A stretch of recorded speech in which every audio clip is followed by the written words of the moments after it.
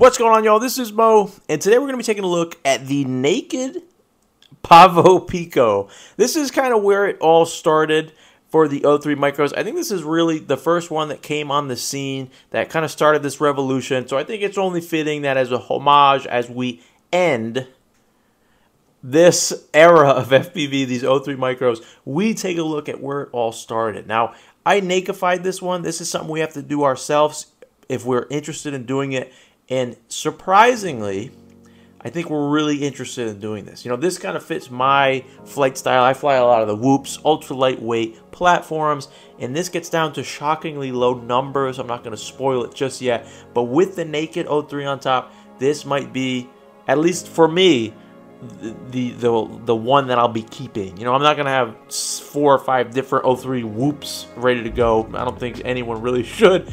But when you're choosing one, this one might be it for me. No hashtag no clickbait. Let's take a look at it.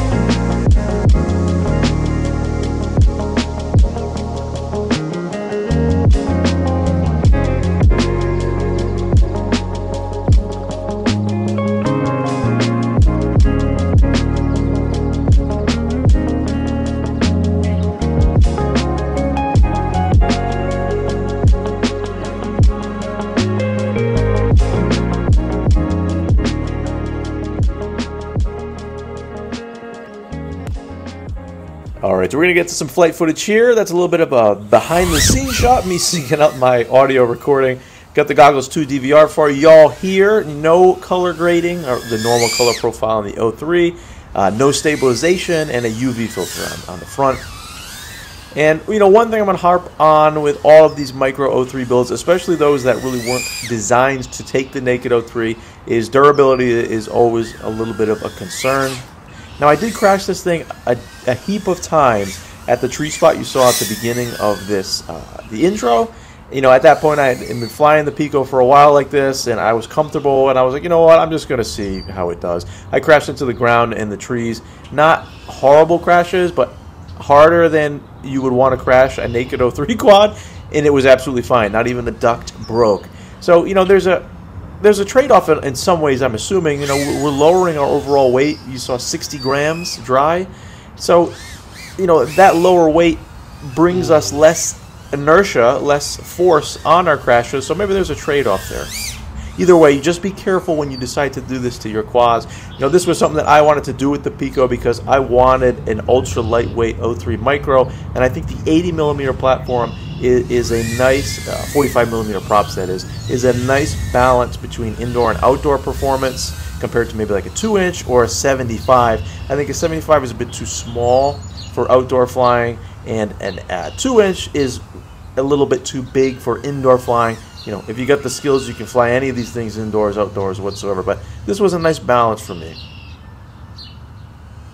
you know that's I know we've seen a lot of these O3 micros, but this might be one of my favorite flying O3 ducted micro quads. This and the Flylens 85 are, are kind of neck and neck for me. I like the lightweight of the Pico.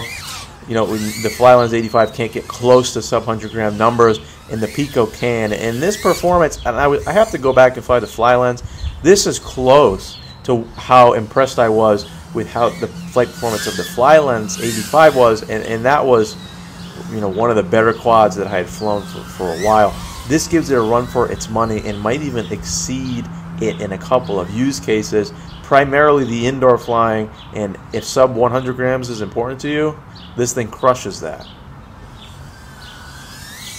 But what can I say that hasn't already been said a million times about these O3 micros? They're a lot of fun, especially the ducted ones. They're a lot of fun to fly. Everyone should have one. It just really comes down to which one is right for you. This thing is pretty sweet without the full O3 in there. Probably have a little bit more battery life, but I'm to bring it in. Yeah, not too much more. I never like to push the O3. All right, so here we're at the desk. I know it's a bit messy. I know we're getting back into that messy desk era. I've had a lot of projects this week, and I haven't really had time to clean it up, so just kind of ignore what's going on on the outside here. But we're just going to take a look at a couple of the key things that I want to go over if you decide to make the Pico naked. This is really going to only pertain to, you know, nakifying the Pico as that's how I flew it and that's how I like to fly it and that's how I, I want to recommend it. So this is going to be specifically going over those things, those changes. All right, so when you buy a Pico kit from Beta FPV, it's going to be without the VTX, so you have to install your own. However you get your Naked 03, whether you do it yourself like I did here, or you buy the pre-naked ones from um, Flywoo, the installation will kind of be the same. I mean, it's essentially the same as the 03, but we lose a little bit of the dimensions, so it's not going to fit snugly in there. How I dealt with that problem is I printed out a 25 by 25 adapter. This is actually the same style of adapter. You can see it underneath there. That's what I'm trying to show you. It's the same style adapter that Beta included for mounting other VTXs like the Walksnail VTX and 20 by 20 mounted VTXs. I just printed one out to have that TPU. It just exists to put a little bit of space between the carbon fiber bottom plate and the O3, kind of braces it a bit. I'll include a, a link to the STL in the description if you're interested in that. So that kind of stiffened it up a bit. And, and the, the final thing was I zip tied it underneath this little standoff here. This the coaxial standoff has has the most room, and I zip tied it to the frame, and that thing isn't really moving around. Like I can move it back and forth slightly or horizontally slightly, but it, while flying, it's not moving around. I think that's very important. That's one of the biggest challenges when you nakify your O3 on the Pico, and that's how I dealt with it. Another thing that I did that I recommend y'all do if you decide to go this route, even with a standard O3, is see these mount screws right here for the camera? That's actually a, a rubber grommet, a, a rubber gummy like this. Not this tall one, but just a standard one, basically cut, cut in half and squished between the uh, camera mount and, and the screw there. This just helps reduce vibrations from reaching our camera. Not, I didn't have too many vibration issues with the Pico. It's mainly the wind that we have to look out for on these O3 micro quads, but this will help reduce any vibrations really from reaching the cam. So it's a pretty free um, and easy upgrade that I recommend you do, even if even if you have any Pico uh, variation, any VTX. It's just a nice little free upgrade. One other thing that I did on my Pico was eliminate this battery tray that, that was here on standard. I'll show you what that looks like. This is the, the stock battery tray, and it, it's pretty secure, and it allows our quad to sit flat when we're ready to take off here, but it's very restrictive. I could only really fit 450s in that, and while Beta's new lava batteries are decent, I wanted a, a wider range of, of batteries. So what I did was snip it off basically right at the base, that battery tray, I threw a little bit of Ummagawd grip. Any uh, sticky battery pad will do. It just kind of runs across there. And finally, I, I, put a, a small battery strap. This one's from iFlight. I got off Amazon a, a, while ago. And, you know, I can hold now 550s, even 6 600s, even 700s probably. Oh, it's a little bit too heavy for the squad. But it gives you a little bit of uh, a variation in which batteries you can use. I found that to be a pretty necessary upgrade. Yeah, but outside of those couple modifications we had to do to, to make this fit the Naked 03, this is essentially a stock Pico. Um, I didn't adjust the tune in any way. No other settings were adjusted. I'm sure you can get a little bit more out of it if we adjusted the tune, but it was flying good enough for me, in all honesty. We have the 45 millimeter Gemfan Hurricane props on here. For a while, that was really the only choice in prop, and it, it's not a bad prop. These black ones are pretty sweet. I don't, I don't, think you can get these outside of the Pico kit. At least I haven't seen them for sale. But HQ just released their own 45 millimeter ultralight prop. You got it in tri-blade and also bi-blade. So I might mess around with the bi-blades on this and see if I can get it flying flying right. If not, the tri-blades. These aren't very durable props, but they're the lightest uh, on the market. You know, similar to these 31 millimeter ultralight props that I run on my 65s. Um, I don't fly 65 too often, but this prop is pretty kick-ass. Um, so I think think that I think they're an interesting choice always nice to mess around and try different things. But yeah, I do wholeheartedly recommend this Pico built out like this. You know, you're always going to take a little bit of risk should we nakeify anything, but this really gave the Flylens 85, which up to this point was probably one of the best Behind the Fly micros. This gave it a run for its money. I think it's mainly because the weight is so low, 61 grams dry. The Flylens doesn't come anywhere close to that. So, you know, this is a really interesting option for those of you who want to fly maybe indoors and outdoors. This can do it both. You know, it, it's it's not I wouldn't ever call any of these O3 quads durable. I wouldn't say you should really bash them. Freestyle them with caution. But again, it comes down to that risk reward, and they're just a blast to fly. You can fly them around people in parks, and it's just a little little whoop quad. So a blast to fly. Everyone should have one. I stick by that. And that about wraps it up for the naked Pavo Pico. Beautiful looking quad. I probably should have went with the blue. I kind of liked the blue. Or the gray. I think I made the wrong decision with the clear. But either way, this was a fun quad and it surprised me. It really did. You know, the Pavo, I think I kind of discredited the Pico as it was really the first iteration of these O3 ducted micros that we've seen. And I don't know why it didn't start here, you know, because this kind of best fits the type of flying I like to do, the type of quads I like to fly.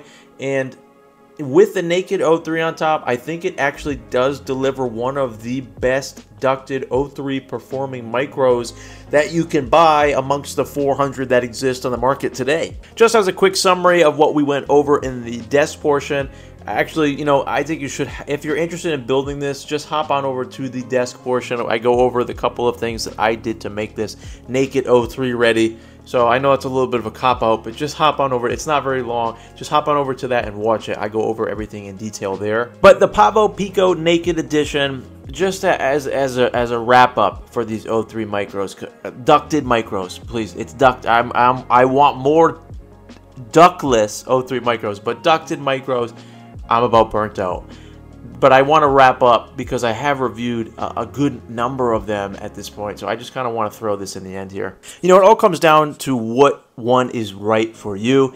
You know, out of all the O3 micros, the ducted micros that I've reviewed, I can't really say that anything has been bad enough for me like not to recommend like it's a stinker or something. It just comes down to what we as pilots specifically prefer. Now, I, I like the, my opinion that I'm about to give is on the basis of I fly lighter quads. You know, 2S is, is ideal for me. I don't really like to mess with anything above it eh, from for the micros. And, you know, that's where this opinion is coming from. It doesn't necessarily mean that this is the objective truth, but, you know, this is my opinion. Starting off with the 75 millimeter line of these O3 micros, I think there only exist two, at least the mainstream ones that I'm aware of, which is the Acro B75 from NewBeeDrone that I have not flown, and this Flylens 75 with the Naked O3. This is a beautiful quad. Look at the soft mounted camera, got the carbon fiber base plate, nice weight distribution. I wanted to love this thing, but I just don't because I, it, it doesn't do outdoors well enough for me. You know, 40 millimeter props with an O3, and this thing is close to 100 grams with a 450 battery. It's just not what I'm looking for. It's not really efficient outside. We lose a lot of flight performance, a lot of flight characteristics in it. But for indoor flying, um, this thing definitely excels. Just not what I was looking for outdoors. You know, moving on to the two inch line, things like the Mob 8, this is not my is the buddies that I'm repairing.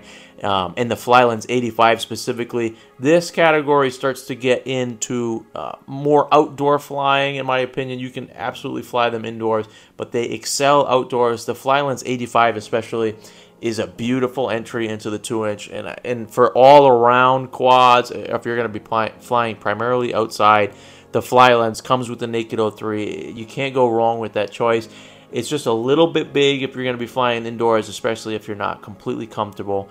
Um, this is as big as I got. This is the Pavo 25 two and a half inch props 4S. I mean, look at this thing, man. This isn't a micro anymore. This thing flew phenomenally. It really did. Outdoors, especially, it had an insane amount of power. It barely felt like a whoop.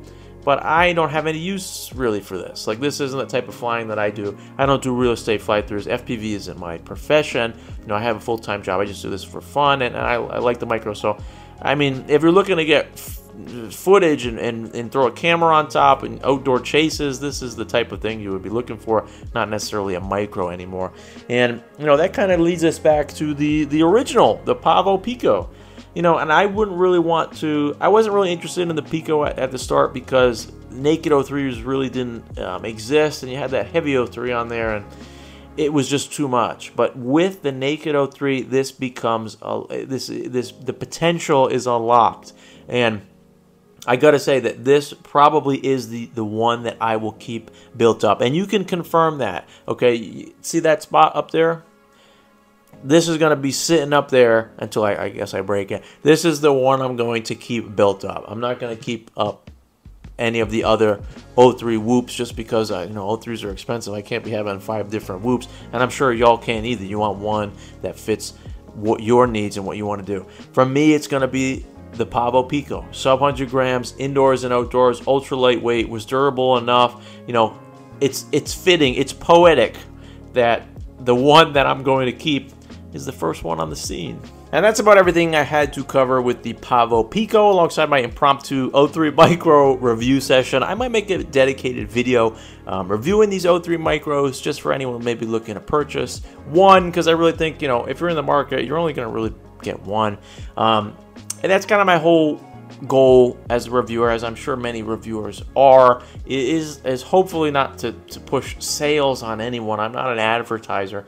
I just want to share with you, you know, as unbiased as I can, my opinion about a specific platform and, and let the viewer make a determination as to if it's the right quad for them. Because just as this is the right quad for me, the Pavo 25 or the Flylens 75 or, or, or anyone might be the right one for you. So please never never take these videos as if I'm trying to sell you something. I know that's kind of a popular thing at the moment. I'm not. You know, I'm not trying to make any money off of y'all. I just enjoy making videos, sharing my opinions, and hopefully that comes across. But you can confirm what I said, right? Look, look. look. It's going to be right there. So in my future videos, if you're sub to the channel, if you see that disappear, be like, Mo, I thought you said you were going to fly the, the Pico. Where did it go? I'll probably be like, it broke, because it probably did. But, you know, you can confirm it at least. It'll be right there. Anyway, this has been Mo. Thank you very much for watching. If you made it this far, a big shout out to you. More build videos to come in the future. I want to be doing custom build videos. Just got a couple more videos to get out of the way. I get behind really quickly. Um, thanks again for watching. It's been Mo. I'll catch you on the next one.